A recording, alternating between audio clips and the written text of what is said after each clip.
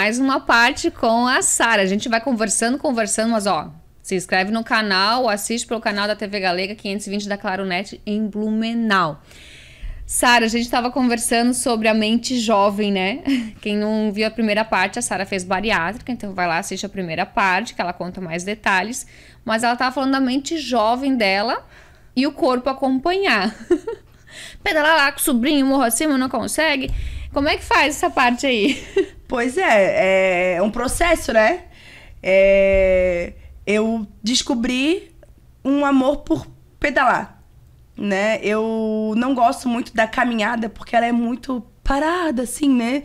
Depende muito da gente. As e o pedal, é, e o pedal, eu tenho tido experiências assim muito legais. A nossa cidade é muito linda, sabe?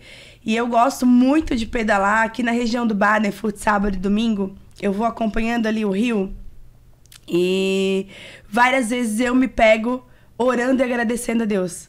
Por quê? Cara, já parou pra ouvir o som da água do rio batendo na pedra? Ou então, pedalar ou caminhar sem fone, ouvindo o barulho do passarinho de manhã cedo? A gente mora numa cidade que possibilita isso. Sentir o cheiro das plantas, Isso. das flores, vezes tu passa num lugar, tem aquele. E tá sendo muito legal. É, eu, tô, eu tô desenhando uma nova Sara. Porque não é nem resgatando, porque eu não tinha esses hábitos, entende? Eu sempre fui ativa, sempre gostei de estar em atividade. Por exemplo, eu gostava de fazer aula de dança, fiz por muito tempo, amo movimentar o corpo. Sim. Porém, o pedal é uma coisa nova, né? E eu tô descobrindo uma paixão ali, entendeu? E o meu sobrinho tá indo na mesma, no mesmo gosto, né? Aham. E a gente combinou um pedal pra Pomerode. Ainda não aconteceu, É bom mas de pedalar pra Pomerode, tá? é, pois é, eu conheço muitas pessoas que É. vão e dizem que é muito legal. É muito. Tem umas partezinhas, assim, mas são poucas, mas é, É. um trajeto melhor do que você ir pra Indaial. Aham. Eu até já falei com ele, né? Eu falei, ó, a gente vai é, com uma equipe de apoio, a gente já criou toda a logística. a logística é, a família vai no carro com suporte de bicicleta. Se a gente não der conta de voltar, a gente pelo menos chega em Pomerode, Né? entendeu? Ou se não der conta de chegar, a família põe a bicicleta no carro e a gente vai até Pomerode e depois volta de carro também. Não tem problema. Um dia depois do outro, É né? o tentar, o persistir, Isso. o conquistar, né? Ah, fui um pedaço, depois eu vou de novo, mais um pedaço. Enfim, eu acho que essa é a motivação, né? Isso. Outro dia eu vi um colega que postou uma foto dele lá na galinha da Kazuki, né? Aham. De bicicleta. Eu falei pra ele, falei, poxa, ainda não dou conta de subir esse morro. Mas quem sabe um dia. Daí ele assim, não, Sara, eu também não dei conta. Teve vários trechos que eu empurrei. E ele é um cara mais jovem e magro, tu vê. Não tem a ver só com Não. peso. Tem a ver com o hábito, né? Disciplina, Fortalecer né? os músculos, disciplina mesmo. E então, Indaial é legal pra isso, tá? Porque É? tem muita descida e subida. Descida Deus e me subida. livre. Ali Calma. pela estrada velha. muita descida e subida, mas assim, a garrafinha de água, vai É. no tempo. Eu sempre digo, o pedal, ele tem que ser uma coisa prazerosa. isso. Ah, eu tô. Vamos rápido. Che... Tu tá lá curtindo. Por que tu quer ir rápido? Tu quer chegar Aham. aonde? Tá com um horário pra chegar em algum lugar? Tá atrasado pro trabalho? Vai atender Isso. algum cliente? Aquilo tem que ser gostoso, prazeroso. É como tu falou. Ouvir os pássaros, o barulho da água batendo na pedra. Quem é que para pra ouvir isso aí? Acho que quem tá Ai, é assistindo vai bom. pa- começar a se atentar a isso. E é tão lindo. A gente mora num lugar que a gente pode fazer isso, sabe? A minha bicicleta é super simples. Eu ainda não, eu não participo de nenhum grupo de pedal, nem nada disso. Porque eu tô começando, então assim, eu vou no meu tempo, vou quando consigo, eu procuro ir sábado e domingo, né? Mas assim, se não dá, tá tudo bem também. É, Mas então, assim, tô indo por minha conta e risco, criando uma disciplina de Sim. mudança de hábitos, né? E o meu marido tá acompanhando, por exemplo. Ele não é muito da bicicleta, mas ele gosta de correr. Então ele desce, vai, corre na rua. Herman sabe? Usher é bom, se ele gosta de correr, vai lá, tu faz o teu pedal. Vejo alguns casais fazendo É, isso. Um um corre vai e o outro vai de bike. Ah, que legal. Então, então a gente tá adquirindo novos hábitos, porque os hábitos antigos eram quais? Sentar no sofá, ver um filme, comer, né? Vamos na a gente, pizzaria, vamos a gente não vai ver filme? Claro que vai, ver Vai. filme. Vamos ver filme. Vai comer pipoca? Vai comer Isso. pipoca. Uma coisa que eu acredito que está sendo um ponto muito positivo no, no meu processo pós-bariátrica. Que eu ouvi alguém falar, e eu não vou lembrar agora se foi nutricionista ou psicólogo, uma das duas. Sara, tu não pode se isolar da vida. Tu não pode se isolar da vida social, porque senão tu não vais dar conta. Daí tu vais perder peso, só que vais ganhar uma depressão. E daí tu vai associar essa depressão à bariátrica. Entende? Sendo Pós, que a né? depressão é fruto do isolamento, né? E, e assim, e eu tenho uma vida social bem agitada, né? Sou pastora numa igreja. Então, a gente tem contato com muita gente. E tudo termina sempre em comida. Nem sabia que tu era pastora. Não, sou pastora numa igreja evangélica. Ai, já me abençoa aqui. Sou pastora na Igreja Evangélica Coinonia. Se quiserem fazer uma visita, serão muito bem-vindos. Legal. É... E assim, tudo termina sempre em comida. Daí o que, que eu penso? Não deixei de fazer nada. Eu estava com sete dias de operada. Era dia das crianças. Minha família queria passear no shopping porque eles queriam ir naquele brinquedo que tem as camas elásticas, bem Sim. colorido lá. Sim, lá no, no shopping da BR, né? Isso, no Norte Shopping. E beleza. Minha mãe perguntou: vai ficar em casa? Eu falei: não. Não vou ficar em casa. Eu tava na dieta líquida. Totalmente líquida. Muitas pessoas eu já ouvi falar que passam muito mal porque sentem muita vontade de comer. Mas por isso que eu no digo. shopping, senti aquele cheirinho Por isso de... que eu digo assim, eu acho que é um combo pra dar o sucesso, sabe? Uhum. Eu estava, eu fiz a cirurgia e eu estava preparada para viver aquilo. Espiritualmente, psicologicamente também. Eu fui pro shopping com a minha garrafinha de proteína, que era o líquido que eu ia tomar, e fiquei, eu acho que eu fiquei cinco horas no shopping. Eu, eu, eu marquei isso Base de água, daí. não, fiquei com a minha garrafinha de proteína, comprei um suco natural sem açúcar.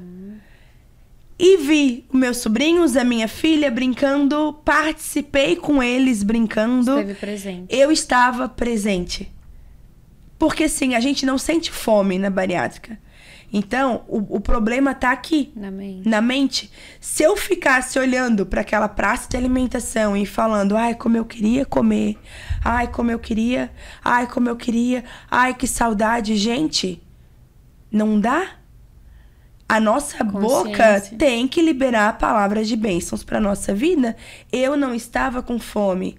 Eu não preciso falar que eu queria, talvez para que outros tenham pena de mim eu estava muito bem, sabe? E fomos embora porque já tinha feito tudo o que a gente queria fazer, né? Cinco horas no shopping é Nossa, tempo demais. Eu ia dizer, nossa. Tempo demais. É. Porque eles almoçaram, eles foram no brinquedo, depois a gente foi numa outra loja comprar os presentes pra eles e Dia das Crianças, sabe? Sim. Foi e, e me marcou tanto. Porque real- geralmente eu não gosto de ir pro shopping em dias assim que eu sei que o shopping tá lotado. Mas a gente tinha feito uma programação com as crianças. Foi legal, né? E eles estavam ansiosos por aquilo. Foi muito divertido. Foi muito divertido. E eu teria perdido tanto se eu não tivesse ido por causa da cirurgia, sabe? E desde então eu não parei de viver. Eu já viajei, já não faltei. Eu acho que eu não faltei nenhum compromisso que eu tinha por causa da bariátrica. Eu só aprendi que eu posso dizer não quando alguém me oferece uma comida. Antes eu não conseguia. Porque antes eu achava que o fato de eu comer aquilo, eu estava agradando aquela pessoa. Então eu precisava comer. Entendeu o gatilho? Sim. E eu descobri que eu não preciso disso. Eu posso dizer não.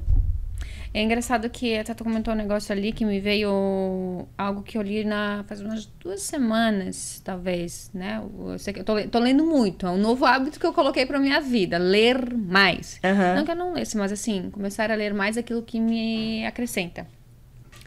É, a sociedade não nos deve nada. quem nos ajudou, eles não têm a obrigação de passar a mão na nossa cabeça e nos dizer aquilo que a gente sempre quer ouvir. Uhum. E o mesmo a gente com as pessoas. Não que a gente vá começar a falar tudo que a gente pensa, mas a gente não precisa agradar o tempo todo e a gente não precisa ser mimada e agradada o tempo todo. Isso. Porque a gente não deve nada para a sociedade, a sociedade não nos deve nada. Eu não sei se eu me fiz entender, mas Sim. aquilo que a gente faz aquilo que a gente gosta. Ah, a gente, te serviu uma água, você não tem a obrigação de tomar essa água. Você vai tomar se você sentir sede, está com a boca seca. Pode ser que no final você tome, pode ser que não. Falando nisso, eu vou tomar nada. né? Então, assim, aquela coisa, você não precisa, não tem a obrigação daquilo. Mas vai da minha parte fazer a minha generosidade, né? uhum. Deixar um copo de água ali pra você. Mas vai muito da, daquilo que você quer também fazer. Uhum. E muitas vezes as pessoas, às vezes até amizade, como você disse, ah, muitas pessoas se aproximaram de ti, te acolheram, te abraçaram, outras pessoas que às vezes você, tu pode estar ajudando com esse procedimento que tu fez, tu tá envolvendo outras pessoas, você tá de alguma forma é um propósito. Sim. É, até na primeira parte ela comentou que ah, se tivesse feito antes alguma coisa, né? Eu acho que tudo é um propósito. No tempo certo, Deus ele coloca as coisas que tem Com que acontecer, certeza. acontecer. E a gente ter essa consciência de o que eu, eu sou um instrumento aqui, Uhum. né? De que forma eu vou ser instrumento? Eu não preciso fazer algo para agradar. Eu tenho que agradar a mim e a Deus. Uhum. Isso. É bem por aí mesmo. É... Nossa, foi muito profunda fosse, agora. fosse muito profunda. Nossa! Mas é bem por aí o caminho, sabe? Eu descobri porque eu sou uma pessoa que mesmo que eu esteja com problemas, eu vou procurar sempre estar disposta para ajudar outras pessoas, né? E eu descobri que na minha caminhada, essa questão de estar disposta e disponível, eu acabei me esquecendo. Sabe? E esse processo da qualidade de vida, da cirurgia, dos acompanhamentos psicológicos com a nutricionista, tudo isso me fez ver que se eu cuidar de mim, eu vou conseguir cuidar dos outros melhor ainda. Sabe? É igual no avião. Parece tão egoísta quando o, a comissária falar se acontecer um problema, as máscaras vão cair, você coloca primeiro a sua e depois a da criança, depois ajude outras pessoas. Se você não colocar a sua, você não vai conseguir ajudar. E eu vi que eu não estava mais conseguindo ajudar as pessoas à minha volta porque eu não estava cuidando de mim. Sabe? A vida é um tripé, como eu falei na primeira parte. A minha vida espiritual estava bem. Eu tenho uma vida com Deus muito boa. Sou fiel a Jesus, amo Jesus. Porém, a minha vida física e até mesmo psicológica não estava boa. Não estava Porque eu não alinhada. estava conseguindo lidar com os meus problemas e eu estava ficando doente. A obesidade é uma doença. Entende? Porque ela acarreta outras doenças também. E como que eu vou ajudar se eu não estou bem para ajudar? E ter consciência disso, né? Isso. Tanto que eu ainda estou no processo, né? A vida, na verdade, é um processo. Eu acho que a gente nunca termina. A gente nunca vai chegar num ponto de dizer eu estou 100% completo em tudo, sabe? É muita presunção isso, né? Então eu não tenho essa presunção. Eu quero estar melhor a cada dia. Eu acho que a gente nunca vai estar totalmente completo, né? Isso. Sara, a gente sempre vai estar querendo algo diferente, até porque uma hora você gosta disso, uma hora você gosta daquele outro. No inverno você usa mais calça, no verão você usa mais bermuda. Isso, isso mesmo. Então, assim, eu tô descobrindo nesse processo essa Sara, que continua sendo disposta, que continua tendo um bom coração, porém, não tem problema eu separar no meu dia algumas horas para cuidar de mim. Porque eu sou mãe, sou esposa, sou filha, sou irmã. E acaba que eu, às E vezes, eu, né? priorizava. E eu esquecia da parte do sou eu. Não tinha aquele sentimento de não merecedora? Como que eu vou cuidar de mim se eu tenho que cuidar do meu filho? Como que eu vou cuidar É. de mim se eu tenho que dar atenção pro meu marido? Como que eu vou cuidar de mim se eu tenho que dar atenção pra mãe, papai, Às né? vezes são até vários fatores, né? É, até mesmo, por exemplo, fatores financeiros. Sim. Às vezes a família tá numa situação que quando a, a, a esposa ou o marido pensa, poxa, eu vou tirar 200 reais por mês para cuidar de mim. Não posso. Só que daí por vários meses tu nunca cuidou de ti.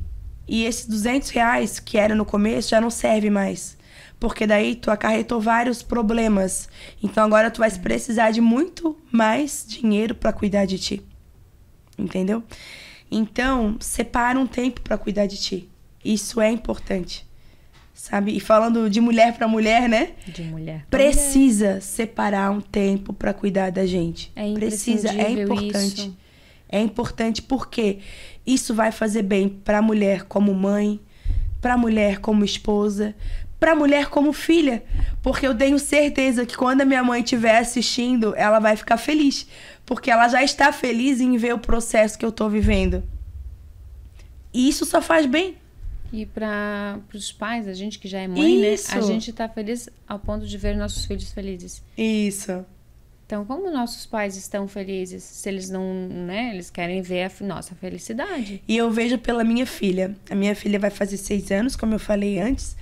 É... Ela é super vaidosa. Ela é uma garotinha muito esperta. Que legal. Sabe?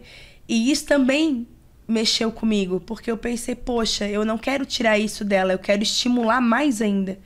E como que eu vou estimular mais ainda se ela não vê isso em mim? Então, hoje ela vê uma mãe que coloca uma roupa, vai na academia, treina. Ela vê a mãe feliz em se arrumar, porque eu tava num processo muito difícil. Eu, eu realmente tava no meu limite, eu tava esgotada. Porque antes ela via uma mãe que não aguentava subir a escada do prédio sem parar no meio e descansar. E ela me imitava. E eu ficava chateada com aquilo, porque eu sei que ela não precisava parar. Ela não estava cansada, mas ela via eu fazer. Porque eu estava com problemas graves respiratórios. E às vezes eu parava no meio do prédio e eu respirava, respirava. E ela fazia igual. E eu dizia pro meu marido: eu não quero que ela faça isso, ela não precisa. Sabe? Então, assim, olha o ponto que eu cheguei, porque o prédio que eu moro não tem elevador, então a gente ia pela escada. Sim. E ela parava para me imitar. E aquilo me chateava muito, porque eu não queria que ela fizesse aquilo. Só que eu não tinha, eu não tinha força para dizer para ela: "Vamos correr. Vamos subir", sabe? Daí o meu marido às vezes ele fazia isso. Vamos postar uma corrida. Daí os dois subiam correndo para ela não parar comigo. Mas isso era muito triste para mim. Então hoje eu não paro, consequentemente ela também não para, porque ela já não precisava parar. Só que filhos imitam os pais. É em tudo, em tudo. Até na coisa mais boba do dia a dia era isso, a subida da escada. E ela fazia igual eu fazia. Ela parava, apoiava no corrimão. Eu falava: "Não, não, assim não". E por dentro eu chorava, porque eu não queria ver ela fazendo aquilo. Sabe? Então hoje eu também consigo brincar de apostar corrida na escada. Não paro Bacana. mais na Olha escada. o motivo que levou uma ação na tua vida. É. E, e eu sou muito grata a Deus por estar vivendo isso, sabe? Porque é uma transformação de dentro para fora. E a gente é uma eterna transformação, a gente é uma eterna evolução. É. É, a gente evolui o tempo todo. A gente é falha, a gente errou lá atrás, fez alguma coisa que hoje não nos agrada aos nossos olhos, mas aquilo muitas vezes nos serviu como aprendizado. Sim. É, enfim, é, somos espelhos para todo mundo à nossa volta. O que a gente faz, o que eu, o que eu posso estar fazendo aqui, às vezes pode estar te influenciando alguma coisa Uhum. sem, sem eu perceber. Ou o que tu estás me dizendo pode estar me influenciando, e com certeza, né? Em muitas coisas. Em muitas coisas. Porque eu também posso. assim seja, Mas né? o quanto eu posso, pode não ser a mesma quantidade que tu pode. Uhum. Né? Eu sempre falo, a gente tem que se espelhar nas pessoas, né? Em coisas boas, nos bons hábitos. Porque assim, ninguém é perfeito. Uhum. É, o julgamento, né, Sara, muito. Às vezes tu faz 10 coisas boas e uma ruim, às vezes as pessoas predominam aquela ruim. Olha só o bom das coisas e usa aquilo a teu favor. Ah, tu andou 13 quilômetros de bike, nem falou, né? Lá com teu sobrinho. Mas eu posso andar só 5? Sim. Mas é o meu melhor, né? Então, assim, faça. Quem quiser te acompanhar no Instagram que tu tá falando mais, como é que é teu Instagram? É arroba eu, underline Sara Caroline. Arroba eu, underline, Sara com H, né? Sara com H no final. Sara com H no final, Caroline. Então você pode ir lá acompanhar, porque ela tá falando um pouquinho mais. Até que ela falou na primeira parte que era totalmente, né, bem. Sim. Sem muitas postagens, assim, uma fotinha, outra, uma, uma por ano, duas. É, bem assim, não tinha um, um hábito, não era um hábito meu. E hoje, e olha só que me chamou a atenção naquele teus stories, ou vídeo que tu postou no feed, puxou pros stories, que algo seria que tu faria uma transformação. Que ia fazer alguma coisa que tu ia contar. Como aquilo, pra mim, aquilo, né? Nossa, curiosidade. As Sim. pessoas são muito curiosas. Então continua, porque eu tenho certeza que algum propósito de Deus na vida de muitas e muitas outras pessoas. Seja lá tu ministrando no, no altar, seja na- no altar da rede social, Uhum. porque hoje a, a rede social é uma terra sem lei, porém Sim. a gente pode colocar muita coisa boa ali. Verdade. A gente pode ser muito um instrumento usado. É. Tem um versículo que diz assim, né? Que tudo me é lícito, mas nem tudo me convém. Trazendo, aplicando para isso que a gente está conversando hoje sobre qualidade de vida, sobre bariátrica. é, Eu posso comer tudo, mas será que me convém? Eu posso fazer o que eu quiser da minha vida, mas será que aquela decisão vai fazer bem para mim? Aquilo me convém? Então, para pensar sobre isso, né? É... Que a gente não exista só por existir. Que a nossa vida tem um propósito, sabe? Seja qualquer que seja o teu propósito, por menor que pareça, que tenha um propósito, uma finalidade. Seja fazer o bem para alguém, ou cuidar de uma comunidade, independente de qual seja, mas que a gente não faça por fazer. Quem Porque foi, foi, assim que eu vivi, sabe? Eu achava que não era importante cuidar de mim. Era importante eu fazer as coisas, fazer, comer, fazer, comer. E quando eu vi, eu cheguei no meu limite, né? E hoje eu repenso muito tudo que eu faço.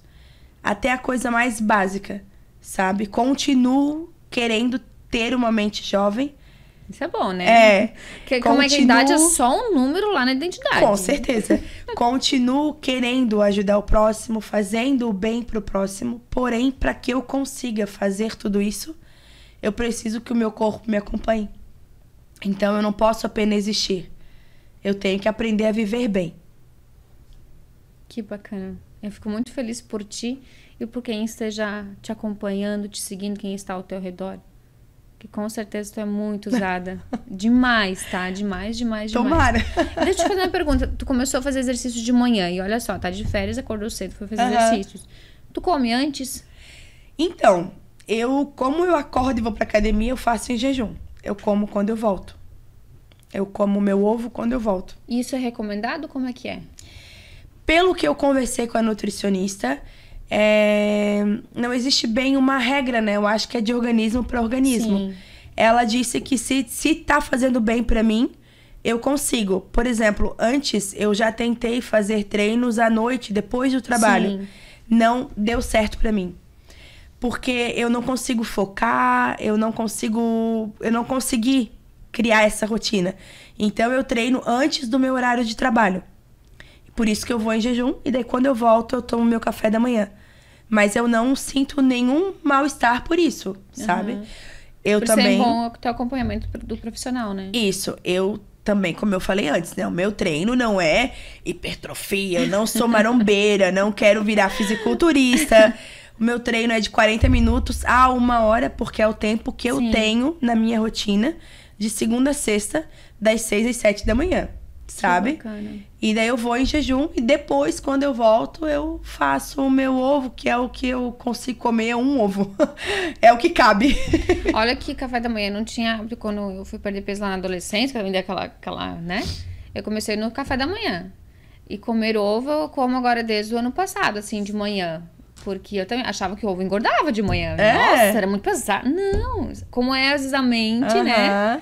Enfim. Alguma coisa que alguém falou, talvez, e ficou É, marcado, ficou né? marcado, mas como... Porque o ovo já teve eras, né? Era que o ovo é o vilão, depois ele é o mocinho, e é o vilão, e o mocinho, e é assim óleo de vai, coco, né? é, isso, é. aquele outro. Então, assim, vai naquilo que te faz bem, É. né? Se tu gosta do azeite de oliva, posso gostar do, do azeite refinado de arroz. Aham. Sim. São hábitos, né? Manteiga, uns gostam, outros não. É, tá terminando nosso programa. Tu queres deixar uma mensagem ou alguma coisa que seja importante deixar aqui para as pessoas? Olha, eu acho que se tem uma mensagem que eu posso deixar é essa, né? Que cuidar da gente é importante. E vale a pena. A gente não vai conseguir ajudar ninguém à nossa volta se a gente não estiver bem com a gente mesmo, com Deus, com a nossa história, sabe? A gente precisa pensar na vida que a gente está levando. Não deixar a vida nos levar. Apesar que a música é muito legal, É. mas no dia a dia a gente precisa pensar na nossa vida. Se tá sendo certo, se tá valendo a pena a vida que a gente tá levando. Que legal. Sara, muito obrigada, tá? Por tudo que tu nos colocou aqui, por abrir um pouco mais a tua vida, da tua intimidade do dia a dia. Obrigada mesmo, tá? Obrigada eu pelo convite, né? É, me senti bem feliz, assim, fiquei bem, bem faceira, porque eu sou bem abobada, assim, faço piada com tudo, então já fiz um monte de gracinha com isso e fiquei bem feliz mesmo com o convite. E se ao menos uma pessoa que ouvir conseguir pensar na sua vida, eu já vou ficar bem feliz. Que bom. Obrigada. Voltamos na próxima com mais uma motivação.